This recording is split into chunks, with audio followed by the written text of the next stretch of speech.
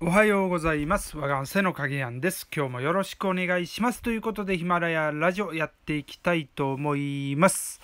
えー先日ですね、えー名古屋場所ですね、7月場所が終わってですね、えーなんと、白鵬が優勝しましたということで、おめでとうございますということでね、えーこの15日間、大相撲を楽しませていただきました。非常に面白かったですね。うん。えーまあまあ、白鵬が優勝でね、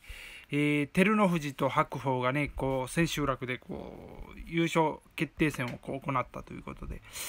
どうかなと思ったら、まあ、白鵬がね、こう、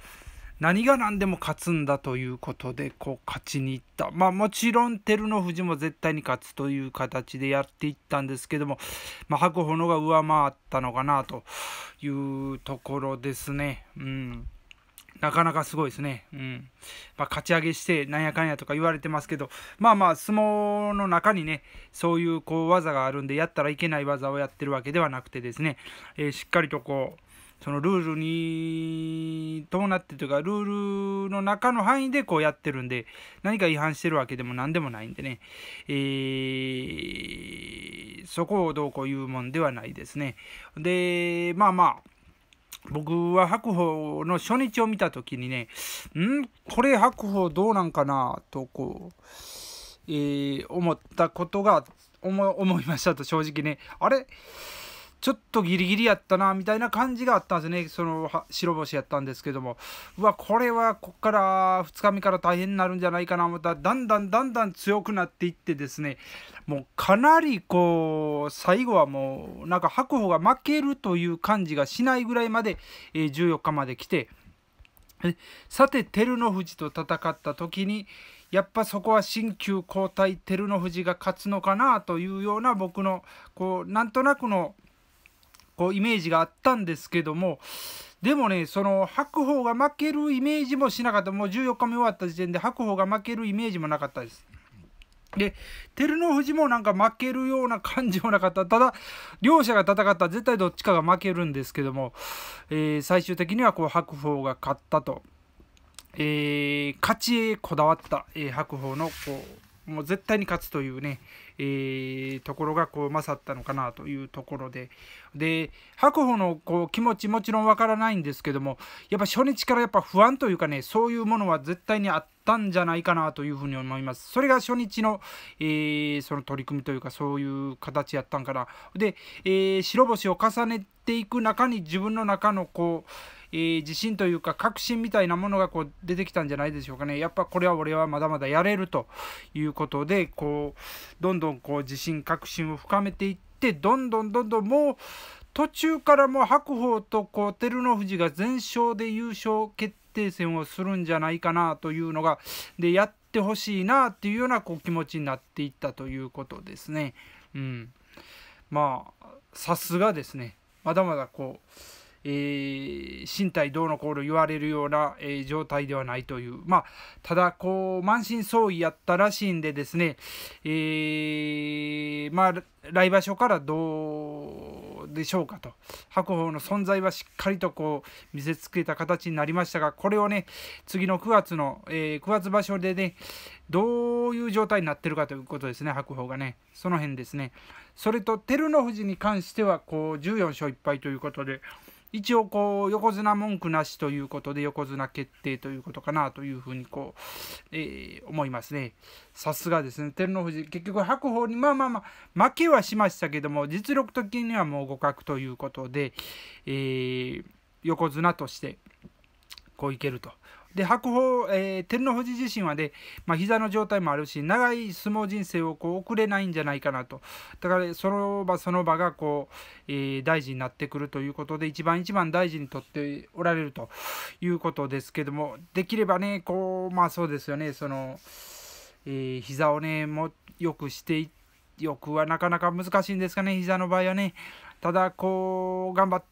頑張ってというかその相撲人生ねこう長くこう務めていただいてこう横綱としてもこう優勝をこうしていただきたいなと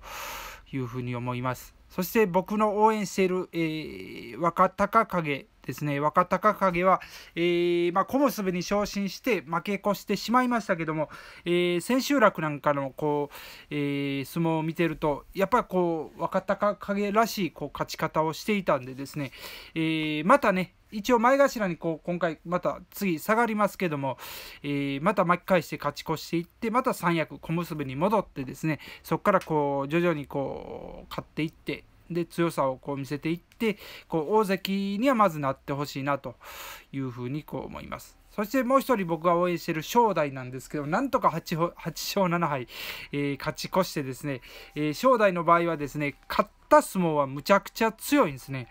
もう圧倒的に強い勝ち方をするんですけど負ける時は結構あっさりとこう負ける時は負けてしまうというところでその辺のこう何て言うんですかねこう、えー、いい時と悪い時の差がこう結構激しいんでですねその辺の差をこう勝った時の、えー、状態にこうどういうんですか、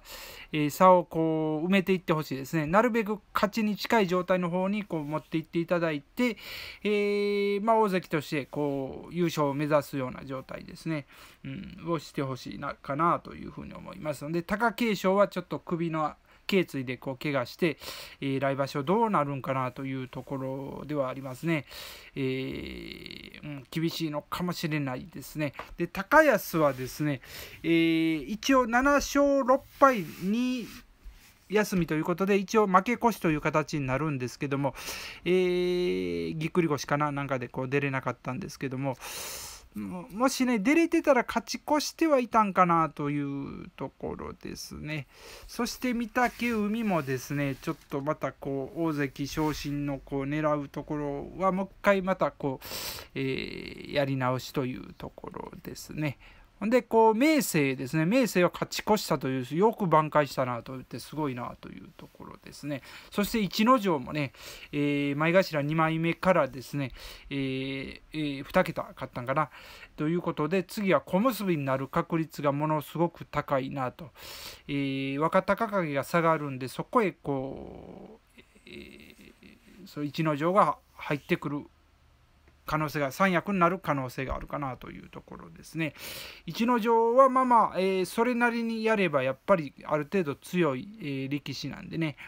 もうちょっとだけ絞ることとうんそうですねだから動きの鋭さみたいなのがあればいいかなというふうにこう見てましたね。そして今場所こう強いなと思ったんがですね豊昇龍ですね。豊昇龍このセクトかなり強くなるのがこう見えてまだ22歳かなんかなんですけどもこれまたこう番付上げていってですね次またこう上と全部当たるようなこう状態になってくるでしょうからそこでまた勝ち越せばですね、えー、三役が見えてきて三役からこうまた勝ち越していくと、え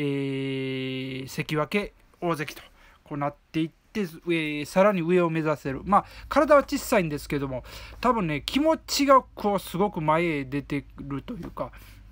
その気持ちでは負けないような状態かなと。ほんで、僕がびっくりしたのはね、若隆景とやった時にですね、小結のね、若隆景とやった相撲がですね、えー、なんか、